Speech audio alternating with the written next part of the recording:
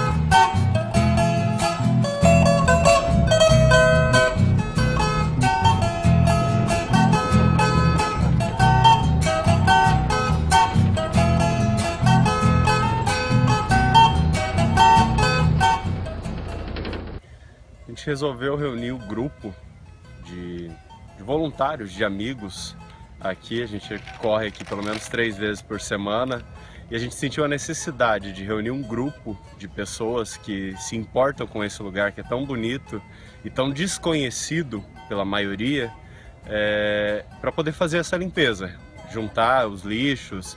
A gente sabe que é um trabalho de formiguinha que vai demorar um tempo, que começa hoje e vai se estender aí por uma vida inteira mas que precisa começar, que existe uma, uma necessidade e a oportunidade que a gente tem é essa. A gente passa pelo menos duas, três horas aqui por, por, cada uma das corridas que a gente faz aqui, são cerca de 12 a 14 km que a gente percorre todas essas trilhas aqui e a gente encontra muito lixo. As pessoas saem da cidade que está a 10 minutos daqui e vêm jogar lixo aqui.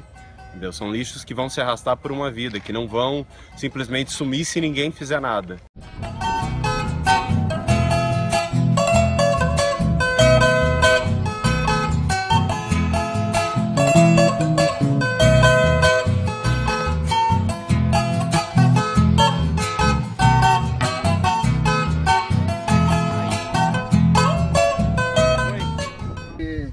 Aqui é nosso. Nós corre aqui, né? Nós faz nosso, nossa qualidade de vida aqui. Então, se o povo não tem consciência, está sujando isso aí, então nós temos a consciência de, de fazer a limpeza para eles, porque isso aqui é, é, faz parte da natureza. Então, como você vai destruir a natureza? Você destruindo a natureza, está destruindo a humanidade também, porque nós dependemos da natureza. Sim. Entendeu?